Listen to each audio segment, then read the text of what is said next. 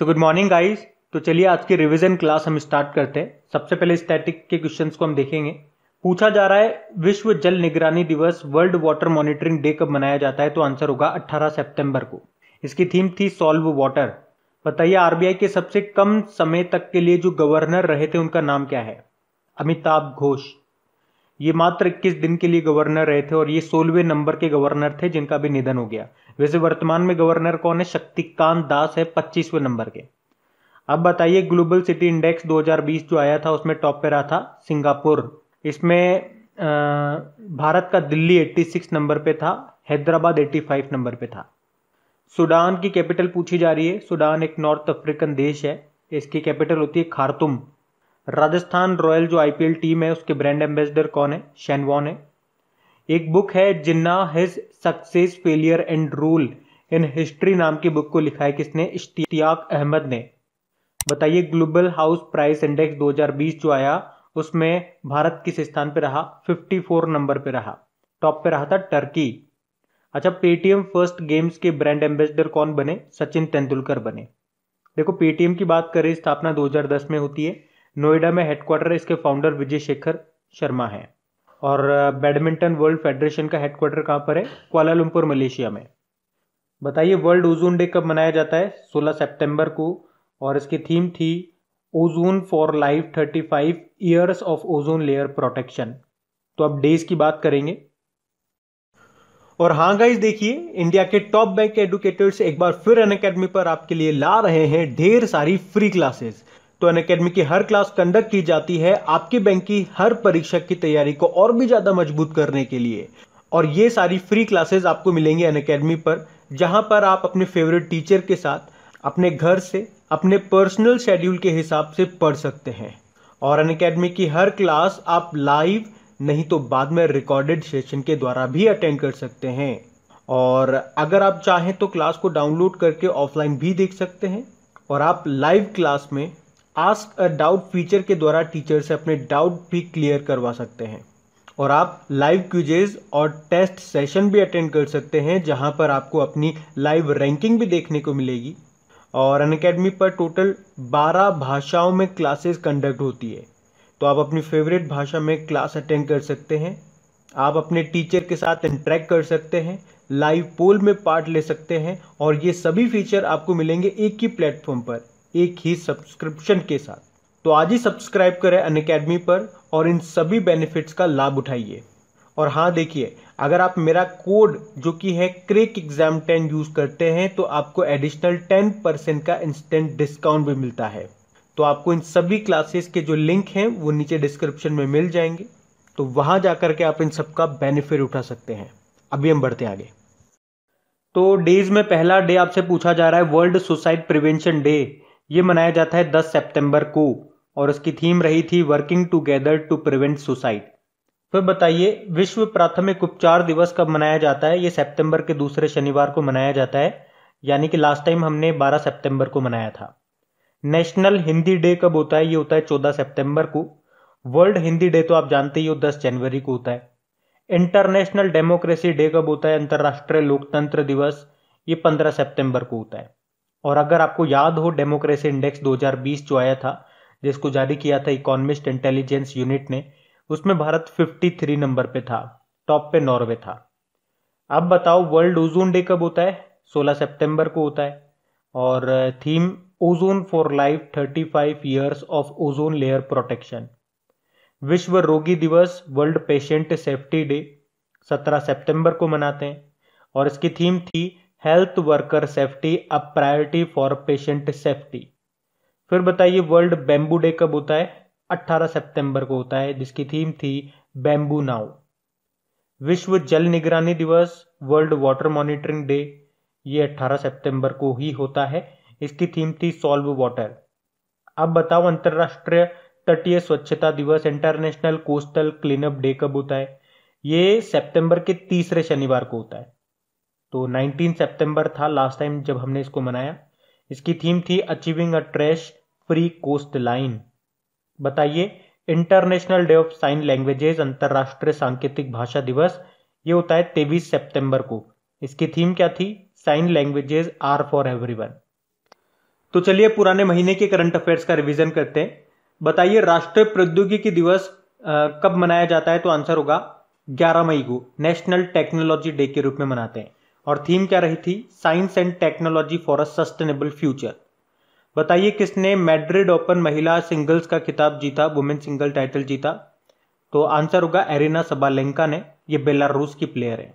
और इसमें men single title किसने जीता? अलेक्जेंडर ज्वेरेव ने जीता, जो कि जर्मन के प्लेयर है। बताइए किसने लगातार पांचवी बार स्पेनिश ग्रैंड प्रिक्स को जीत लिया? तो आंसर होगा लुइस हैमिल्टन ने।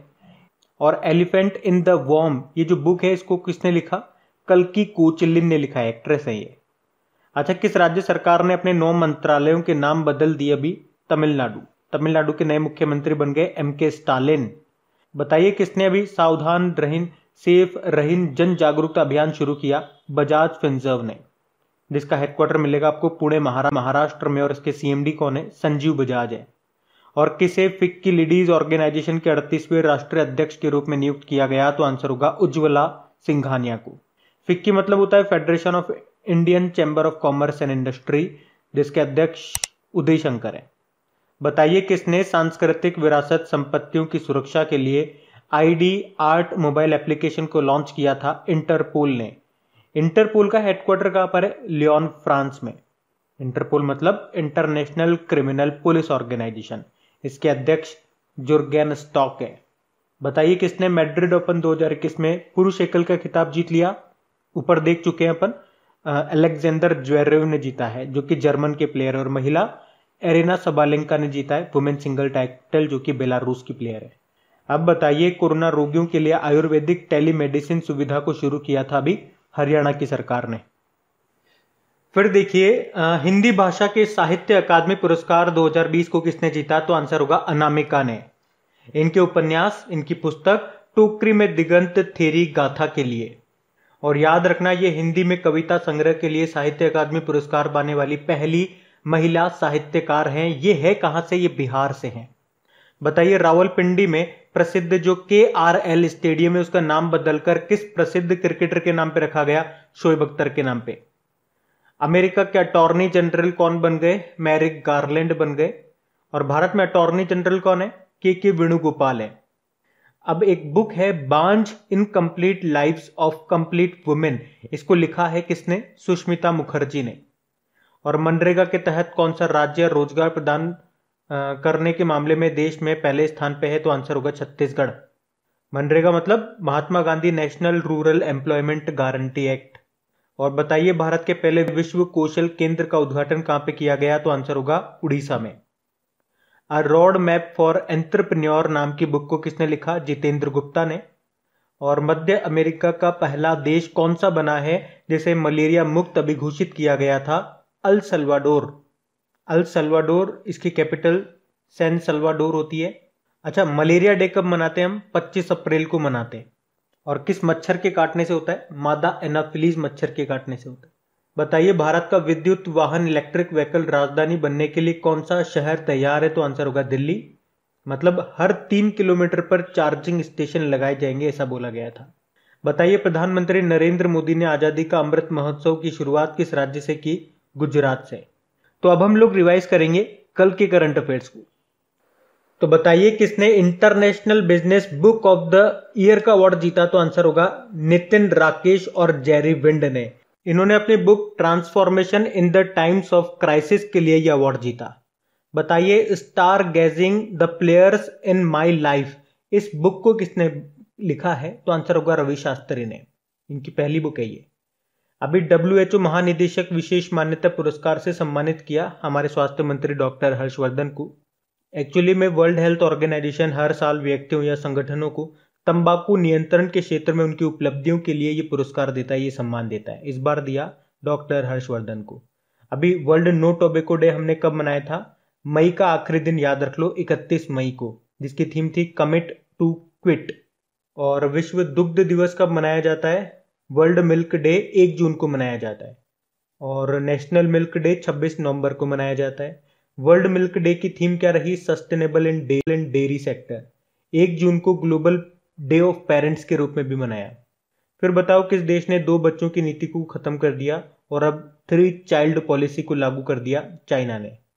और अभी सावरकर कॉन्टेस्टेड लीगसी 1924 टू 1966 नाम की बुक को किसने लिखा? विक्रम संपत ने।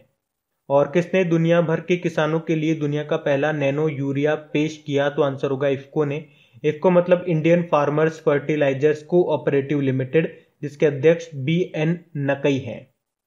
अच्छा बताइए, दुनिया का पहला कार्बनिक यौगिक, यानी कि ऑर्गन कंपाउंड कौन सा है? यूरिया ही है। जिसका निर्माण किया था वोहलर ने। और इसका केमिकल नेम क्या होता है? Carbamide. Carbamide C A R B A M I D E carbamide. अच्छा बताइए, शरीर में यूरिया का निर्माण कहाँ पे होता है? तो आपका आंसर होना चाहिए लीवर में। अब बताइए, नौसेना स्टाफ के उप प्रमुख कौन बन गए? तो आंसर होगा अमित सिंह। हमारे नेवल चीफ हैं करमवीर सिंह। अभी दो दिवसीय पी फोर जी समिट 2021 किस देश की अध्यक्षता में संपन्न हुई? South Korea. साउथ कोरिया की कैपिटल सियोल है, करेंसी इसकी साउथ कोरियन वॉन है, मून जेइन इसके प्रेसिडेंट है। तो गाइज़ ये लीजिए, ये थी हमारी की रिवीजन वाली क्लास। और क्लास अगर अच्छी लगी हो तो प्लीज़ इसे लाइक ज़रूर करना और शेयर करना मत भूलना अपने दोस्तों के साथ में। आप कुछ क्वेश्चंस आप लोगों से पूछे जाएँगे क्वेश्चंस आप लोग लगाइए और देखिए कितने क्वेश्चंस आप लोगों से बन पा रहे हैं। बाकी हम इनको कल सॉल्व करते हैं। ये क्वेश्चन आपके सामने।